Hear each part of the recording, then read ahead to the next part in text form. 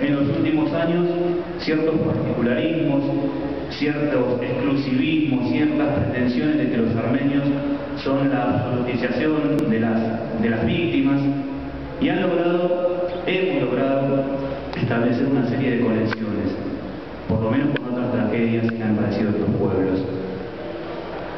La más habitual, en un ejercicio que no es para nada ingenuo, es vincular, y eso tal vez ustedes lo vean bastante seguido en distintas publicaciones, es vincular el genocidio armenio con el holocausto, sufrido por el pueblo judío en la Segunda Guerra Mundial. Es bastante habitual encontrar en distintas páginas, en distintos lugares, la famosa frase de Hitler respecto a cuando están sus tropas por tomar por asalto Polonia, este, la famosa frase del 22 de agosto de 1939 cuando plantea quién recuerda hoy en día la matanza de los armenios.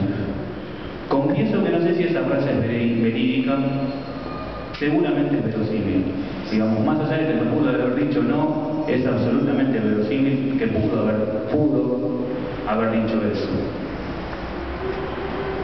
Lamento que eh, esa ligación, esa asociación eh, quede a medio camino porque en realidad se hace conjuntamente con quienes aquellos que, aquellos que utilizan justamente ese dolor inconmensurable que se vio el holocausto para legitimar el genocidio que están llevando adelante en Palestina.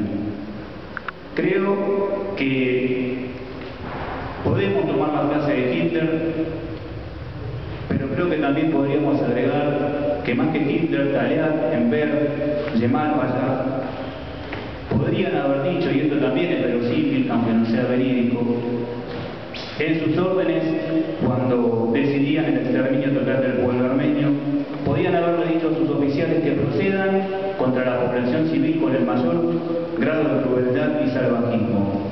Total, ¿quién recuerda hoy a los indios caribes? Total, ¿quién recuerda hoy el exterminio de indios de América del Norte? Total, ¿quién recuerda hoy los indios del Potosí, de Guanajuato, de Zacatecas, de Minas Gerais? Yemal, en ya podían haber dicho, actúen con el mayor salvajismo necesario. Total, ¿quién recuerda hoy a los millones de africanos muertos en la trata? ¿Quién recuerda hoy a los 15.000 habitantes de la isla de Banda, de las islas de Banda, eh, masacrados por la compañía de indias holandesas? ¿Quién recuerda hoy que en 1860, cuando los europeos, que los europeos llegaran a África, vivían en el continente 150 millones de personas y hacia fin del siglo XIX vivían no más 95 millones de habitantes?